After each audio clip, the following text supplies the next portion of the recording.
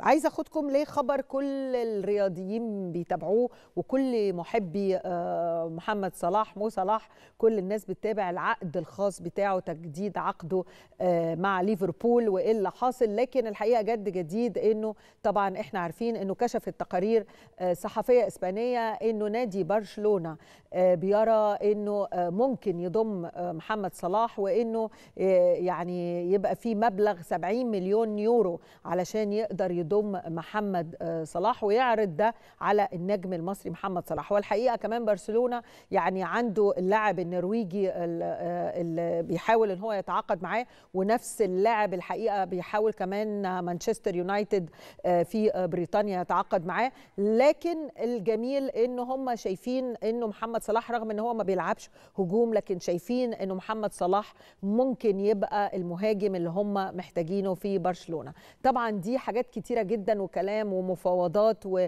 وإحنا عارفين إن عقد صلاح بينتهي في آه، بداية صيف آخر يونيو 30 يونيو أعتقد 2022 فطبعا لازم يكون في آه، يعني حسم بقى للموقف خصوصا إنه آه، الوقت اقترب وإنه لابد إنه يبقى في قرار من قبل ليفربول هنشوف هيعمل إيه.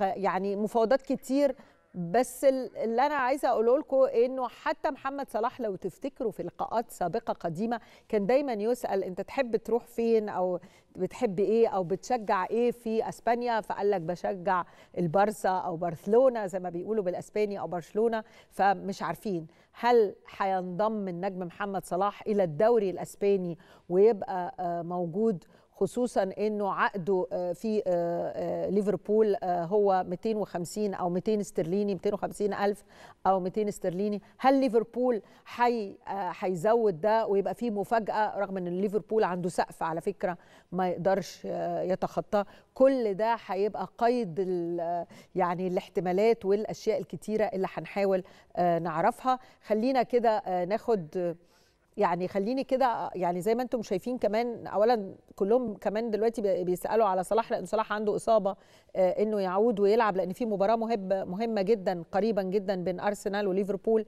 فإنه صلاح يعود قريبا ويلعب.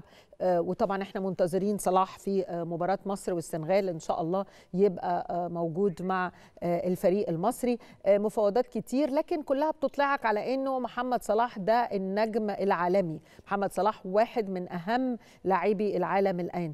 الغريب إن الناس طبعا عشاق الكره لو أنت دخلت على يعني في في بريطانيا النجوم مين أعلى نجم هتلاقي طبعا رونالدو. رونالدو هو أعلى واحد أجر في بياخد وصلاح يمكن بيجي ترتيبه رقم 15 خلينا ناخد مزيد من المعلومات. الناقد الرياضي إسلام مجدي مساء الخير. مساء النور على حضرتك وعلى المشاهدين كلهم.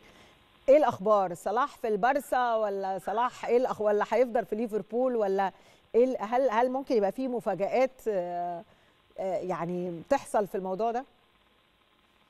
هو يمكن اللي حصل حصل انفجار للقصة بدري شوية أو شويتين عن ميعادها. يعني هو عقده بيخلص لسه في 2023 هو لسه في موسم ونص موسم آه 23 ولا 22 23 23 ف...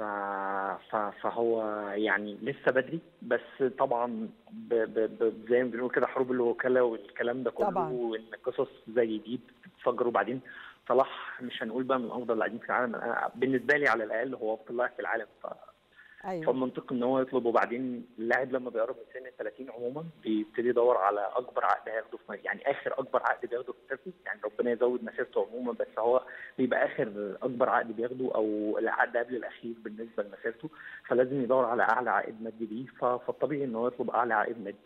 في المقابل ليفربول عنده سقف للرواتب مش بيعديه لأن هو الفرقة معظمها بقى نجوم صف أول. ف فخلاص فهو في في الأزمة دي فبيحاولوا آه. يقربوا وجهات النظر وهي دايما مفاوضات تجديد العقود بتاخد وقت وكأننا بنقول هو صلاح كمان يعني واقف عند السقف بتاعهم يعني في التجديد. بس أنا عايزة أسألك هل صلاح هيبقى هيقدر يعني زي ما بيقولوا بالإنجليز to cope أو إن هو يدخل في طريقة اللعب بتاعت برشلونة؟ خصوصا صلاح برضو الكرة الإنجليزية ليها system كده معين وتحديدا هو بقاله طبعا دلوقتي فترة مع ليفربول. هل هل ممكن صلاح يدخل في آه، في في المضمار الإسباني ده.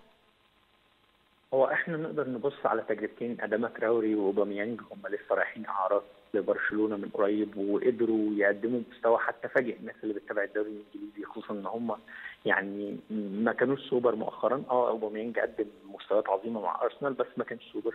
آه أداما تراوري نفس الكلام بس لعيب محفوظ. الدوري الإنجليزي صعب جدا طبعا والتنافس عالي جدا. إحنا بنتكلم في ست أو سبع أو ثمان فرق بيبقوا بيتنافسوا على أربع مراكز.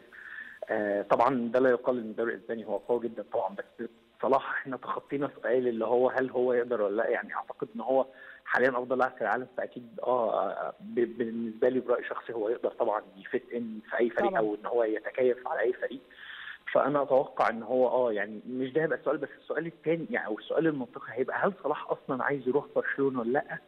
هو ده السؤال. توقع يعني أنا. هي الناس كلها بترجع للكلمة. كان صلاح كان ليه لقاءات كتير وكان بيقول إن هو بيشجع برشلونة أو هو من محبي برشلونة. لأن أنت عارف الناس تنقسم يا إما أنت مع ريال مدريد أو مع برشلونة.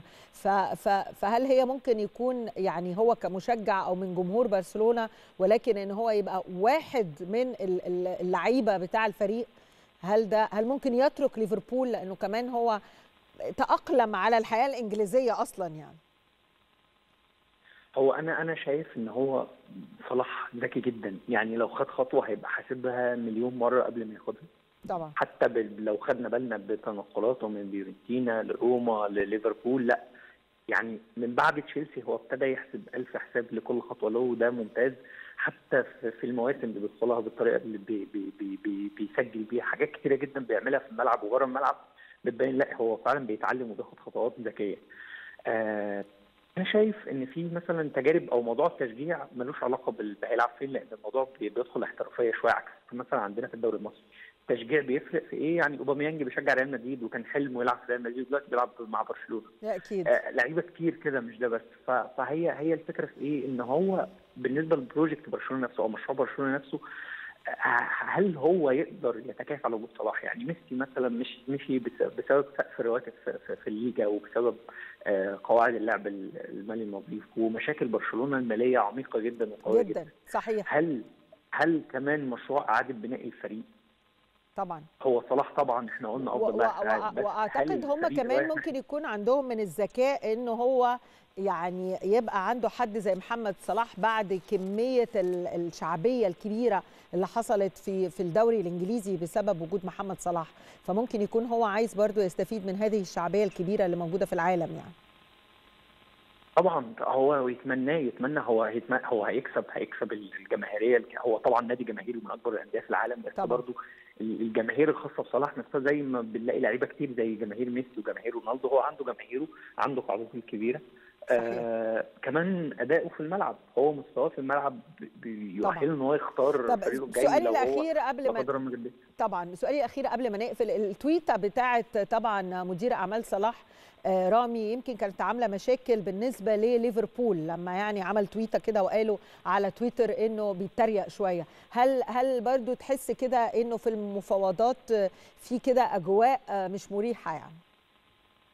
ما آه يعني أنا مش متفق مع اللي حصل من الطرفين مش طرف. بعينه أنا مش متفق مع إن القصة كانت تطلع وتتصدر والكره تترمي في ملعب ده شوية وده شوية القصة لو كانت مشيت في الخفاء ما كانش بقى في مشاكل من. الأساس يعني هو أنا ضد إن هو لأن نموذج مينو رايولا بتاع إن هو يعمل مشاكل عشان يجيب أكبر عقد مش هو النموذج ال- السائد صحيح. لكنه النموذج الشاذ في ال- في المعادلة فمش دايما هو الصح أنا كنت ضده تماما إن ده يحصل ده أكيد. عموما الأيام هتكشف عن ده وجميل إنه يفضل صلاح عموما هو تحت الأضواء طول الوقت. ما دام آه، هو طالما هو في الملعب وبيقدم كل يوم آه، يعني آه، بيقدم كل يوم مستوى جديد. هو صلاح بيفاجئ العالم طول الوقت وبيعمل مجهود كبير جدا. نتمنى له التوفيق وهنتابع معاكم أكيد طول الوقت. معلومات كتير. الناقد الرياضي إسلام مجدي بشكرك. شكرا جزيلا.